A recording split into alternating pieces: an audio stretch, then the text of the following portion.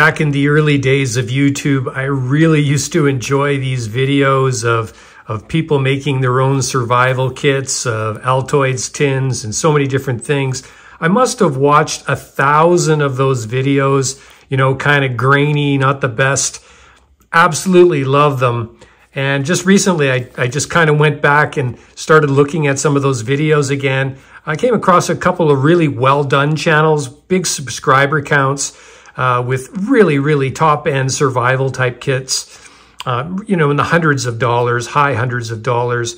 And it kind of got me thinking. I was watching it and um, I do so many different types of activities um, that I share with you on this channel hunting, hiking, fishing, cycling, all these different things. And usually I have all the right gear in my pack, but uh, after watching these videos, my brain started thinking, well, maybe I should have something that no matter what activity I'm doing, I can take it, put it in that type of pack. Uh, you know, a hunting pack is different than my bushcraft pack, which is different than my fishing pack and totally different than my, my hiking pack. So I could take something like this out and just drop it in and off I go and I don't have to really think too hard. So anyway, it kind of got me thinking. I've had a couple of these Coghlan survival kit in the cans over the years. And here we are now in 2024. I still have one that's unopened. I don't even know if you can find these anymore. I, I haven't looked, but you know, we've got some contents here we may as well go over. We've got a compass, which, you know, is a button compass. A um, couple of cubes, a fire starter, uh, some multi-purpose cord. We've got a uh, one survival first aid with uh, probably information, you know, um, maybe some band-aids and stuff. Uh, multi-purpose wire, waterproof matches, four of them, 110 feet of fishing line or sewing thread, a bouillon, a bouillon soup packet, one tea bag, one sugar packet, one matchbook, two antiseptic swabs, one razor blade, three twist ties, 12 inches of duct tape, signal mirror, uh, one Ziploc bag, two adhesive bandages, uh, two nails, one piece of chewing gum, one sewing needle, one energy candy, one note paper, and one pencil. So I could totally duplicate this in this larger can, which we're going to look at here in a second. But, you know, then maybe that would leave me a lot more room for other things. So what I want to do here is I want to build this with you guys, or gals and gals, or things, and, uh, or it's. How dare you! And we're going to put this together, together. And let's see where it goes. Um, if you're not sure of what my channel is all about, please just take a look at the playlists. Uh, we have this in French here. Um, as to the type of activities I like to get up to, and maybe we can make this work. I can't stand intros. So what we have here is a genuine military surplus that I bought in the 80s. I only recently started using it. Haven't got a lot of fire on it yet. But I picked this up in about 1982. I think I paid $20 at the time. It's probably too much maybe, but who knows. Here it is in all of its glory. I'd like to say what army it came from, but I can't. I don't know. So it measures probably oh, 8 inches by 6 inches by about two inches. Kind of where we are. I thought this would make a good thing because this squareness kind of fits in the corner of packs kind of nice. So anyway, here we are, aluminum. Is it, some of you are going to say stainless steel would be better because some people don't like the aluminum for health reasons. Um, I've been using it. I'm still here. So anyway, uh, it is a little bit lighter and it's kind of what I thought, you know, for this video. So that's where I'm at. We can boil water with it. We can fry things on it. And this is the type of thing where I, I envisioned using it all the time. I don't want it strictly for emergencies. I mean, if that was the case, I would just stick with something like this, throw it in every pack that I, and just go and forget about it. I was actually hoping to use this stuff on a regular basis. So no matter where I go, I can find a use. So first thing that I come up with here is a whistle, which I did not see in there. And this is a Tops whistle. It's kind of a knife channel. We got a lot, of knife content on this channel. And so I thought a whistle would be a good idea. I put it on a little clip here so that you can hang from your pack or from your shirt while you're walking. Uh, I've gone on a couple of trips where I didn't have a whistle on my backpack. And it would have been nice to have this to go, oh, I know where there is one. Um, I got a lot of redundancies going on in here. Matches, ferro rod, and lighters. So I'm looking for your suggestions. Maybe uh, I can trim back and I need to add to. So there's going to be a lot of things that I'm already thinking of. Anyways, matches. These are good matches. They work fine. They don't take up a lot of space. Maybe I could trim it down to something. Maybe I could cut this down and, uh, I don't know, do something with the matches just to make it smaller and more compact. Uh, some great videos out there, yeah. Anyway, we got four AAA batteries for the headlamp. I think this is good. I've already trimmed some of the paper back. Um, could I even do more? Possibly, which would, you know, open up other possibilities. Uh, this is a like a J-cloth type of thing. When you open it up, it's pretty big.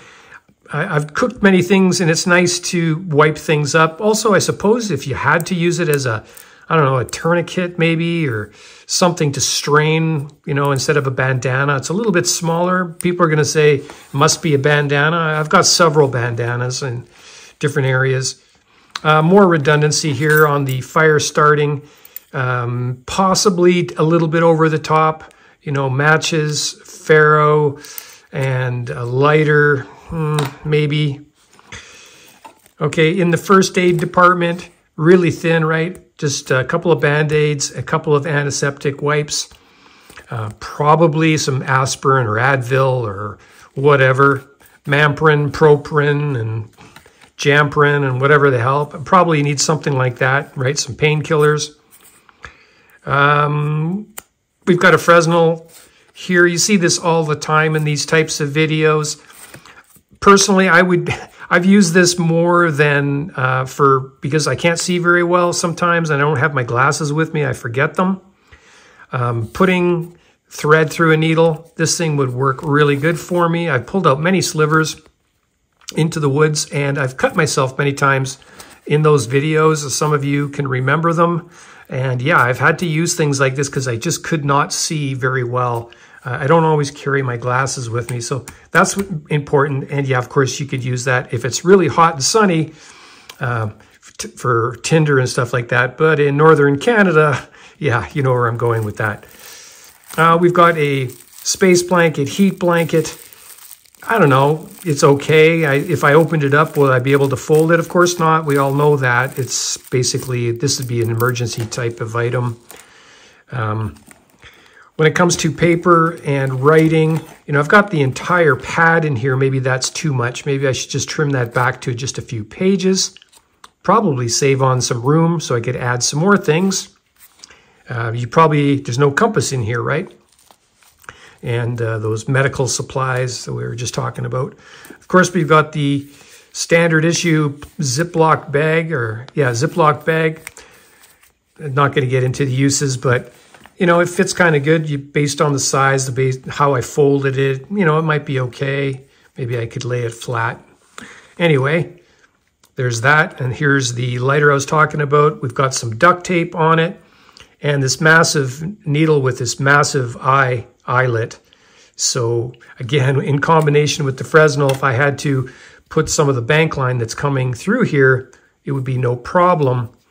And I put a little paracord thing on here just to keep the accidentally fuel, you know, in a case like that, it's, well, here, let me do this properly here. All right, so now we can properly use it. And I put this on here so that it won't accidentally discharge. Now I'm having a hard time putting it back on because I'm making a video which is normally the case. But I did say I like those older videos from like 2010, 2009, you know, the early YouTube. So there was a lot of that going on. So there you go. There you go. So we're saving on the butane. Duct tape, paracord. You can hang this from your, your keychain or whatever the case might be. A little, is it too much? you know, one, two, three, probably. Um, we've got a black diamond headlamp. And I, I took the rubber thing that goes around your head, the elastic band, because I, I, just didn't couldn't make it work in here. Um, but if I started to trim back, maybe I could get it in there. My thoughts are I could use this paracord to make something, you know, go around my head. And plus, you've got this kind of angle thing, and I thought, well, maybe I could do a, a clip clip on. It's not the greatest. It's not bad, but I could probably make it work. Anyway, thoughts on that? Maybe this is too big. There are smaller versions out there. I'm just going with the stuff that I have lying around. And of course, I've got tons and tons of a number 30, I think. Bank line. I want to say number 30, but I could be wrong. It's a ton in here. So no shortage. I, have always reached for this stuff. Just go back to any of my Into the Woods video where I make the fork and the knife extensions because those little forks and knives are too small. Anyway, I digress. This guy's been floating around the box, uh, in the bottom of a box for at least 12 to 15 years now, maybe longer. Uh, you can see the, the plastic is starting to wear out a little bit. Never used it. It's just been rolling around. I thought, well, maybe this is a good time to bring it out in for this uh, new survival kit. Or I don't even know if I'm going to call it a survival kit yet. I don't know what it is. Of course, we've got a pencil. Um, some people will say the shavings will be good for starting a fire. Um, maybe even the the the what is this thing called? Eraser. That's it, the eraser. Um, some people might say just use a mechanical pencil because it's a little bit thinner, smaller. I don't know. Potato, potato on that one. And some old school fire starter. This stuff does really work really well. I kind of chose this. I could have added a couple more, but I put it in because it just kind of fits really well. You know, it's got the shape, so it stows okay. A couple of zip ties. I taped them in there because they're like springs. You know, as, as soon as you move something, they come jumping out and they're hard to put back in. So I just taped them in there for now. Maybe I'll tape them flat down later or something. I don't know. Still early days. We're going to build this together. I'm looking for your suggestions on this video. So, um, and then I can present it to you uh, in any of the videos that I was talking about, those hunting and hiking videos and into the woods. I can pop it open and we can take a look at it together. Um, I don't want it to be an emergency. It's good for an emergency, but I also want it to use it on a regular basis. So uh, maybe these some of these things are not the right idea. Not sure. I do like the idea of fitting it into here. Um, I did, you know, see videos where people put all of this gear inside a container like this. The only reason I don't like that is because if you need something uh, you got to pull everything out to get it. It's a little bit more difficult to get at. So it, it, it did cross my mind, but I've got the water in a, in a different container anyways. So, you know, I, that could be a standalone for the water as well. So I've got other other ideas for the water. This is something else. Um, yeah, so we're missing a compass and we're missing, you know, some first aid as far as the painkillers and stuff like that. Um, some might say a bandana should be in here instead of the this guy. Um, there's probably, what, a compass? I already mentioned that. There's a bunch of things missing here that are on this, this can. You know, fish hooks, uh, fishing line. Uh, oh, there's the signal whistle. I thought there wasn't one in here. Um, you know, things like chewing gum, energy candy, and stuff like that. I think there's room for that kind of stuff. I was thinking like an energy gel. Obviously, we're missing a multi-tool and a knife.